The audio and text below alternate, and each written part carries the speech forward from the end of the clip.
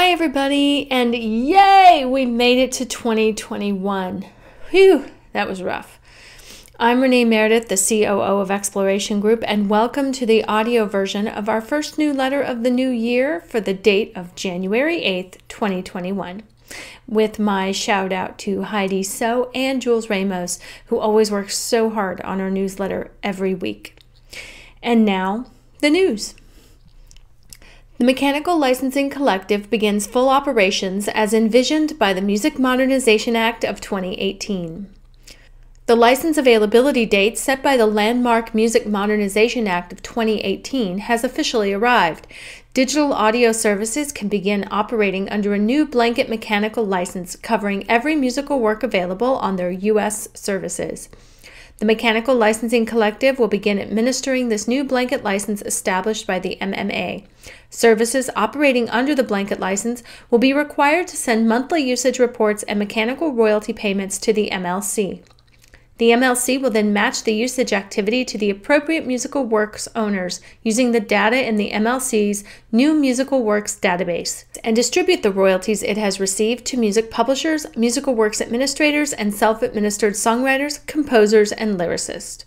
The MLC anticipates sending out its first royalty payments and statements in April of 2021. The Public Musical Works database can now be accessed via the public search button on the MLC's homepage. In addition, the MLC will launch its Bulk Data Access subscription program, allowing subscribers to download a set of files containing all of the musical works ownership data in the MLC's database. Report shows music streaming set new record in 2020 with 17% US increase led by huge Little Baby Tally.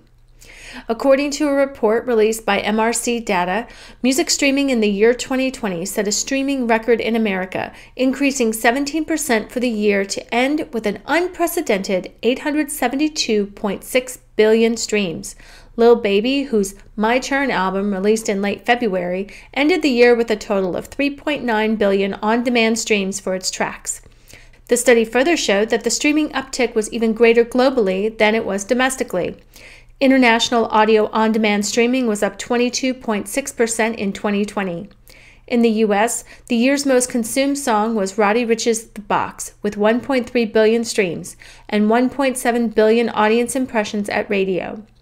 Internationally, the biggest track of the year was WAP by Cardi B featuring Megan Thee Stallion.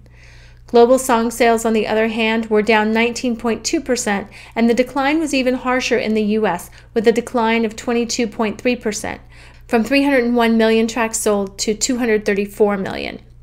In terms of genres, R&B hip hop was on top with 28.2% of overall volume, followed by rock with 19.5%, pop with 12.9%, country with 7.9%, Latin with 4.7%, dance electronic with 3.2%, and Christian gospel with 1.9%.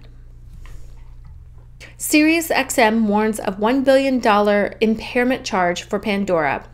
SiriusXM says it expects to record a $1 billion non cash impairment charge for its Pandora music streaming service, due mainly to the impact of per play royalty payment costs. The uncertainty we have this year and the potential for higher royalty costs will likely drive lower margins and have a meaningful impact on Pandora's profitability over the coming years, and this drives the bulk of the expected impairment, said Julie Witz, newly installed CEO of the audio entertainment giant. Besides statutory royalty rates for artists, Pandora has direct licensing deals with major label groups. And Witz said a recent fall in ad revenue for Pandora amid the pandemic was accompanied by consistent consumption of its music streaming product, which will hit profitability as the overall royalty cost structure for the music streaming service rises. The SiriusXM boss also pointed to increased competition from music streaming rivals like Spotify and Apple Music, which has reduced revenues from ad supported Pandora listeners.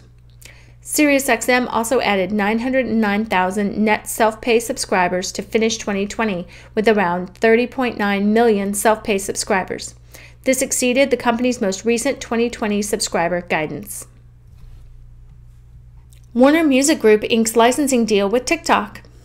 Warner Music Group has signed a licensing deal with TikTok. The news marked the viral video platform's second major label license deal in as many months after it was announced at the beginning of November that it had struck a deal with Sony Music Entertainment. As first reported by Bloomberg, TikTok's latest licensing agreement covers songs from WMG's publishing division, Warner Chappell Music, in addition to WMG's recorded music catalog. The deal also follows the news at the end of November that TikTok has agreed a multi year licensing deal with pan European licensing hub ICE for the musical works represented by the ICE Core. Music streaming in the UK increased 8.2% in lockdown 2020, but not one album went platinum.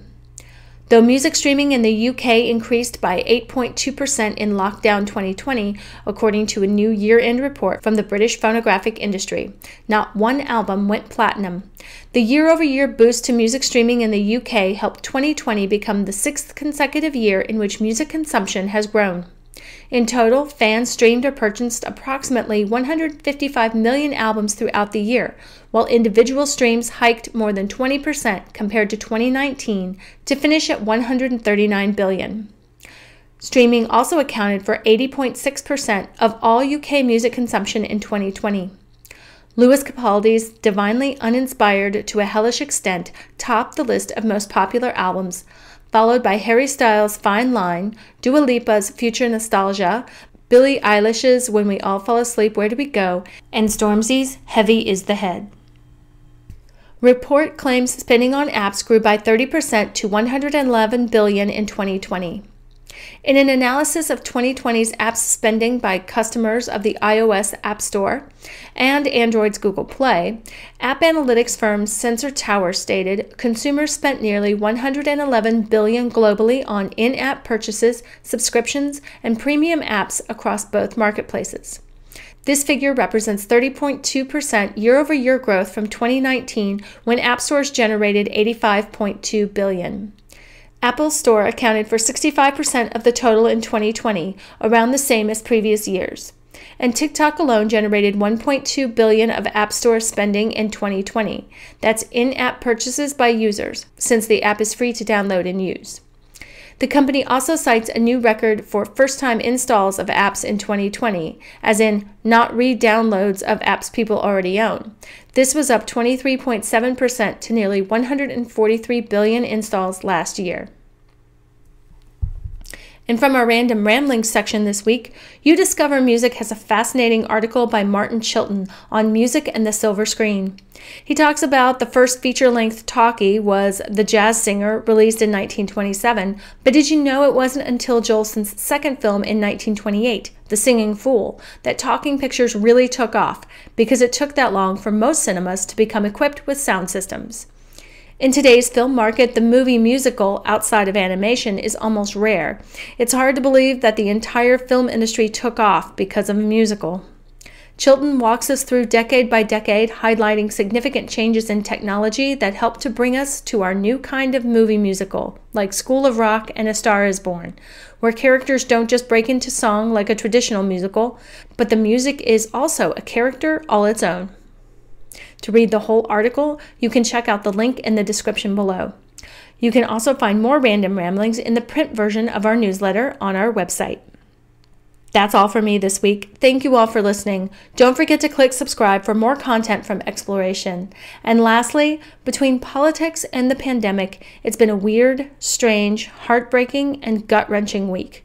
One thing we all have in common is that we're all stressed and we're all tired. So please, do your best to be kind to each other.